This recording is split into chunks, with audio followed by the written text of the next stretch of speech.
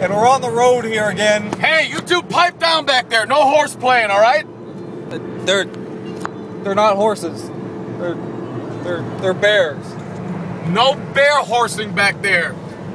So No uh steel horsing back there. so Milo Beasley and Simon Sez uh the Emerald Dumpsters. Um Is that what we decided on? I, no, that's just what um one of the Mexicans called us. Ah. And I, I like it. Um, Rags to Riches, the Emerald Dumpsters.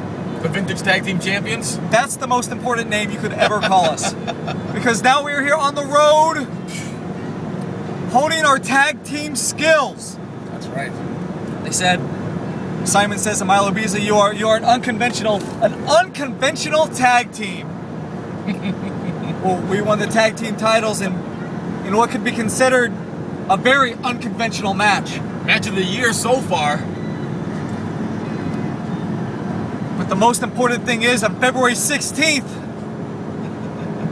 Team Mac and Cheese want a rematch.